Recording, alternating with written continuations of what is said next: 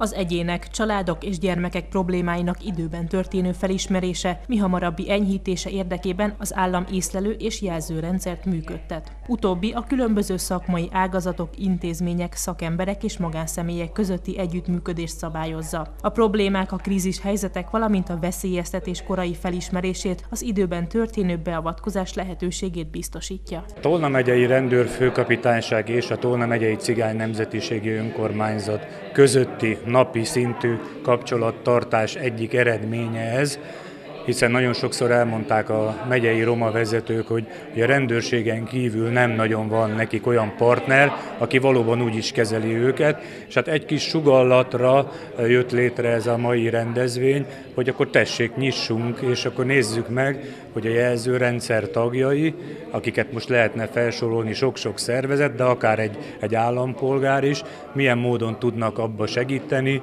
közösen együtt gondolkozni, hogy azoknál az eseteknél, amikor gyermekeket érintő intézkedés van, akkor mindenki a maga szakterületén a legjobbat tudja nyújtani. És azt gondolom, hogy ez egy jó kezdeményezés volt, és már is egy újabb kapu nyílott meg, hogy itt Tóna megyében a békés egymás mellett élést elősegíthessük. A jelzőrendszer az egyértelműen jelen van, viszont amikor a roma vezetők kerestek meg engem ezzel a témával, akkor ők egyfajta hiányosságként élték meg azt, hogy ők valamilyen módon ebből kimaradnak. És ezzel ezt szeretnénk elindítani, hogy azokban az esetekben, amikor beszéljünk most hátrányos helyzetű családokról, gyerekekről, azért nekik igenis a településen és a környékeken vagy kistérségben azért jó, ha tudják, hogy történik mondjuk egy gyermek kiemelés a családból. Az igazsághoz hozzátartozik, hogy bizalommal, vagy inkább fordulnak felénk bizalommal, és várják az egyfajta segítséget.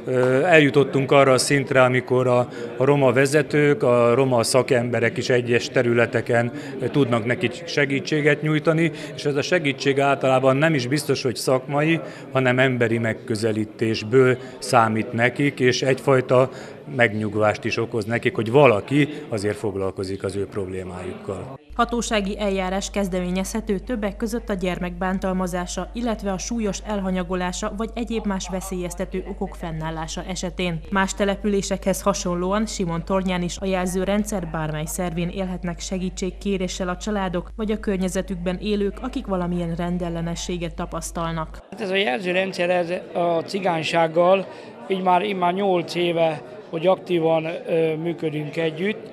Már előtte is dolgoztunk együtt, akkor én nem voltam képviselő, és így belefolytam ebbe a jelzőrendszerbe, és mai napig is tevékenykedünk együtt, közösen csináljuk a munkánkat. Nagyon jó a, az együttműködésünk, és nagyon jól tudunk dolgozni együtt, ugyanis beavatnak engemet mindenféle tevékenységbe, mindenféle munkába, ahova csak lehet, azonnal kérik a véleményemet, gyűléseket tartunk. A jelzőrendszer működésével kapcsolatos rendezvényen hangsúlyozták az együttműködés pozitív és segítő szándékát, amely arra törekszik, hogy a gyermek, illetve a család krízis állapotát, veszélyeztetését, bántalmazását megelőzze, enyhítse, megoldást keressen, és a jövőbe vetett lehetőségeket megfogalmazza.